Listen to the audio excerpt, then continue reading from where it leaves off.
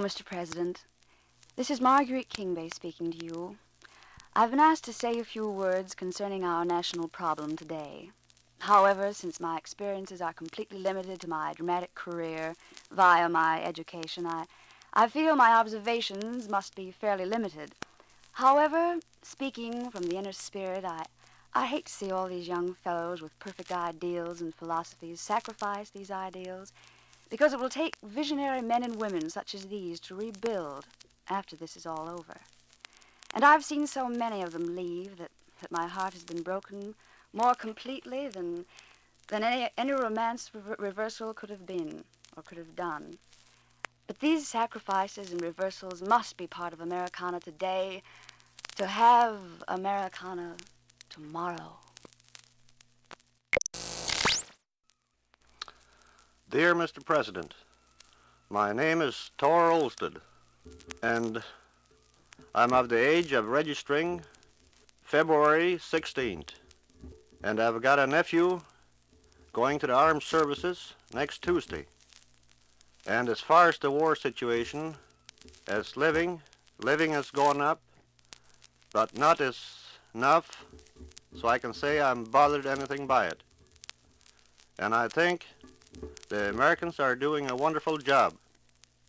I think the, if the British would use their manpower accordingly to the stuff that we've been sending them and doing as good a job as the Americans are doing, Hitler would be beaten in a short time. Uh, dear Mr. President, my name is James Williamson. I live at 1401 3rd Street Northeast, Minneapolis, Minnesota. I work at the University of Minnesota as a janitor. The question has been asked me in regards to my opinion of the war situation as it stands in the United States today. I served in the last war in the United States Navy for two and a half years, the duration of the war. And I feel at the present time that the United States government hasn't closed down tight enough on the general public of the United States and give them enough to think about war. I don't believe that the public has is war-minded enough at the present time to really think and save and give because uh, giving of money isn't all. You must give time and material. And I think the people that uh, are working under government contracts, that is, uh, uh contracts of uh, the production of armament and things, I think those men are uh, paid too much, and I don't think the men in the armed forces get enough money. Dear Mr. President, my name is Olaf Olson, 4408 44th Avenue South, Minneapolis, Minnesota. My opinion of uh, present uh, conditions relative to this war is that the uh, uh low page wa paid wage earner is uh, not getting the break that that he should be entitled to, considering the fact that uh, cost of living has been going up. The only ones who have been benefiting by by it are those in the middle class and upper classes who have been getting increases in wages to adjust the higher cost of living. Uh, it seems that nothing has been done for the people who in the in the lower brackets who uh, have uh, a very difficult time to make a living for themselves and their families. Dear Mr. President, my name is Mrs. M. R. Schuler.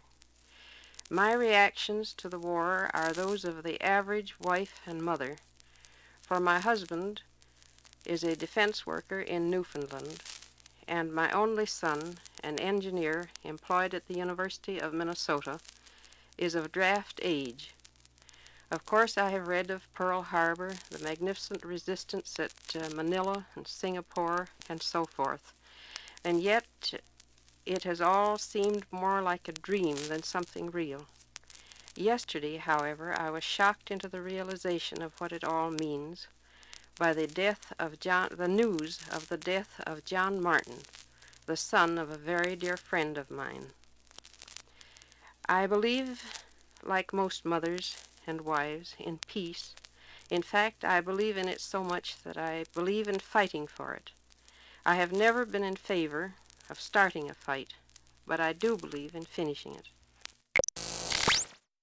Dear Mr. President, my name is Barbara Hopley, and I live at 319 12th Avenue Southeast. Right at this moment, my boyfriend is taking a physical examination to see if he will be accepted for enlistment in the Army. I hope those stomach aches he has are, are ulcers. It's not because he wants to go, but because he feels that the sooner he gets in there, the quicker it'll be over. And that's the way I feel about it, too. Dear Mr. President, my name is Betty Ann McDowell. I live at 319 12th Avenue Southeast, Minneapolis, Minnesota. And I think that it's a shame that we who were born during the First World War, brought up during the Depression, have now that our lives are beginning to take shape to face a new world war. I am not ready for our country to enter a war. I suppose I could be called an isolationist, but I went through school and college during the 20s and early 30s when the emphasis was upon the futility of war, specifically on the failure of the last World War in settling any of the essential problems and particularly in saving the world for democracy. Furthermore, I feel strongly that we as a nation are not prepared for a war, either materially or psychologically. Rather than to work toward the United States intervening, I would much rather see our people and government emphasize building up our armaments, unity among our people, and a way of life really worth fighting for in case it comes to the point that we must fight in defense of our country. It is understandable that we're not prepared in the way of equipment and trained personnel necessary to fight a war, since we've been so recently disillusioned by the results of the last war. Nevertheless, we must now turn our energies to preparing for fighting for freedom to live as we wish if that becomes necessary. At the same time, I think that we must be willing to make sacrifices as individuals to make life worth living for our underprivileged groups. As a social worker, I am disturbed by the willingness of many people to accept heavy taxation for armaments and to give of their efforts and money to aid the deserving people in foreign countries when they have been antagonistic or at least quite indifferent toward our own underprivileged group. I would like to see a comparable amount of publicity or propaganda or education, the label doesn't matter, given in the effort to make our own nation strong as to helping our friends who may well be fighting our war. Then I want effort placed on uniting our people. I believe the tendency of some administration's leaders has been to cause disunity by emphasizing the existence of classes or groups with opposing interests.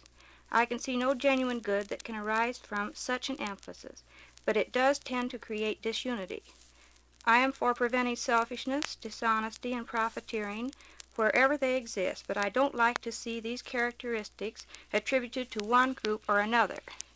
If we do get into this war because of aggressive acts on the part of other nations which cannot be endured by our people, then I'm afraid we shall be in for a long war, which will bring great suffering to us as well as our enemies. Then, when the war is finally over, I am sure we shall have to work out with all the nations an international police force and a more equitable system of sharing the resources of the world. Again, we shall have to make sacrifices, since we are blessed with more than our share of the valuable natural resources. But if we are united and have built up a way of life in which the general social welfare comes first, we will be ready to take our role in the future and set an example for the other nations.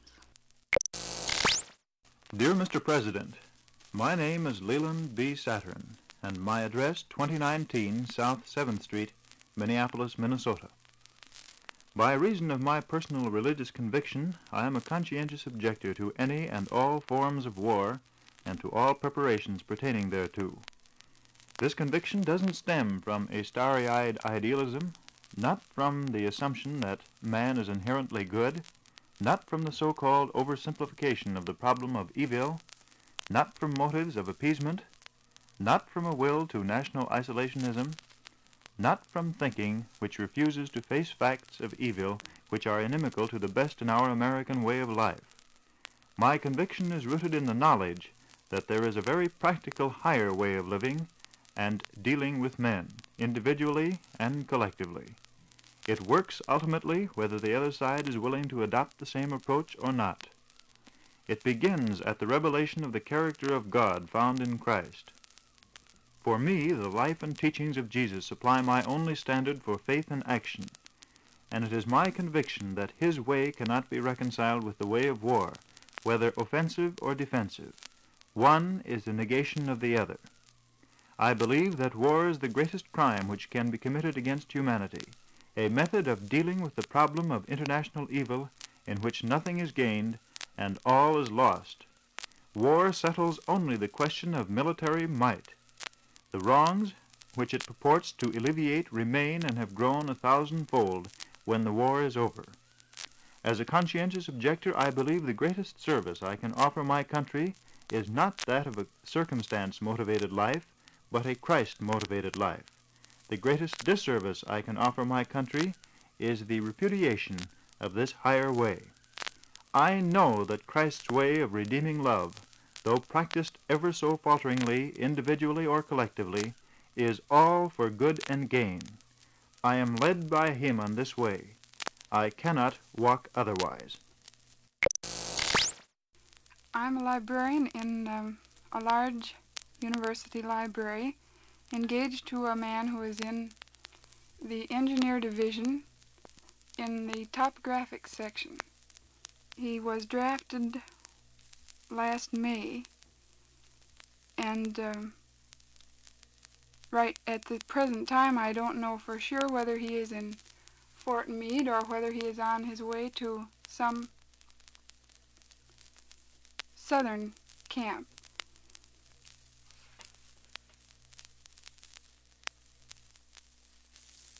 He um, was drafted and I think takes it better than a lot of men who were drafted. But of course I am prejudiced. and uh, although he doesn't want to go, doesn't like to go, he hasn't been too complaining about it. If anybody's done any complaining, I suppose I've done the most. Um, he is going to some southern camp and will probably go overseas. I hope not. It seems to me that they could send some of the men who have enlisted rather than those who were drafted and in a way uh, forced to go. Although I suppose if they sent uh, the ones who, if they only sent those who enlisted, they there wouldn't be as many enlistments.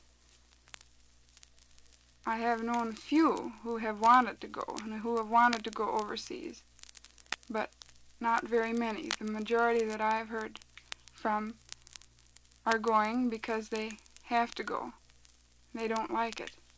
And uh, they're not crying about it. They see that it's it has to be done and they're going, but it's a shame.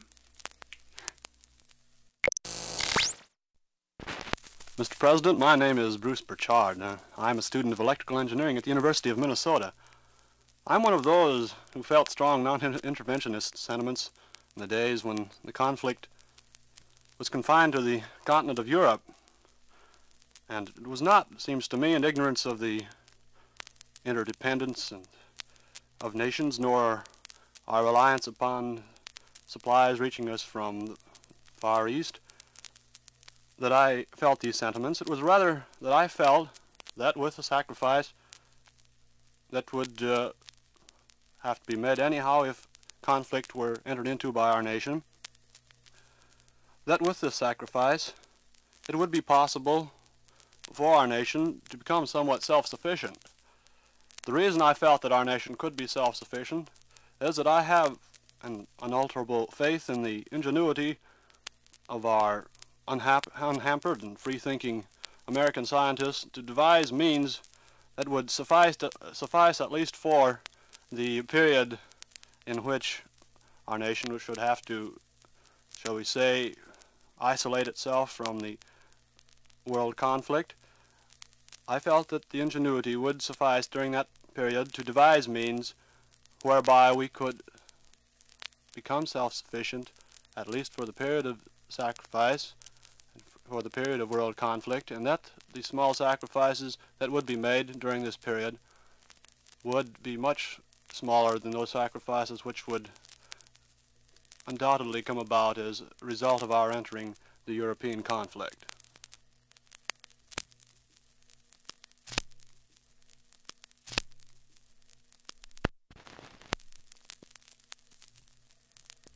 Dear Mr. President, this is Philip Gelb. I'm a junior at the University of Minnesota, about 21 years old.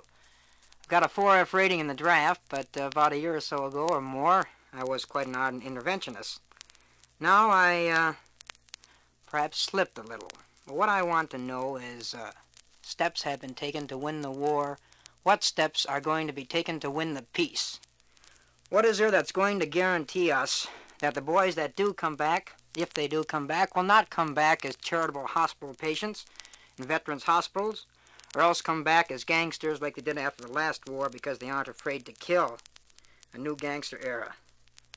Uh, and who is sacrificing in this war? Is there a terrific sacrifice in a government defense bond which pays 33 and a third percent in 10 years? To me, it seems like a pretty good investment. In other words, those that can afford to buy are really making a pretty good profit on this war. And uh, has profiteering, profiteering been taken out of the war as uh, it was supposed to have been? Congressman Maas, I think it was Maas here in the state of Minnesota, in speaking to the Navy, uh, said that uh, he would guarantee peace and a new life for 200 years if we had an all-out effort to win this war. How is he going to guarantee this? What steps are going to be taken? In other words, the ones that are doing the sacrificing, how are they going to be repaid? My name is uh, Lottie Ryman, uh, 1806 uh, 18th uh, Street South, First Avenue South.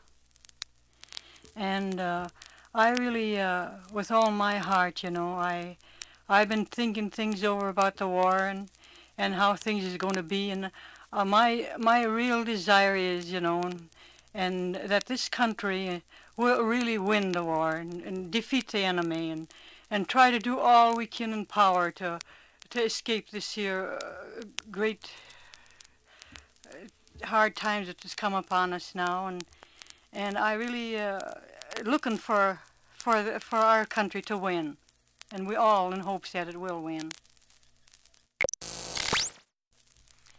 My name is Reed Erickson, and I live in city of Minneapolis in Minnesota.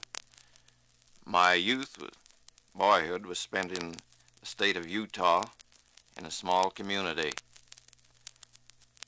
And I feel that this is an opportunity to say something about the present emergency. My grand great-grandparents came to this country seeking religious freedom, and they found it here. And I feel that this is an opportunity for me at the present time in this emergency, this national crisis, to show my thankfulness and my gratefulness for the privileges and the opportunities that this United States of ours has given me. A chance to live in freedom and happiness and contentment, and a, has given me an opportunity to live in a way of life that's proven to me to be greater than any other way of life a man could possibly ask for. And so I think that now, in this crisis, is the time for us all to come to the aid of this great United States of ours, and that no sacrifice is too great to make. Dear Mr. President, my name is Ted Olson, 2012 Two and a Half Street South. As I have two sons in the Army age, I am very interested in this war, hoping it would be over before my sons would need to be called. But this war we must win, regardless of what our sacrifice may be.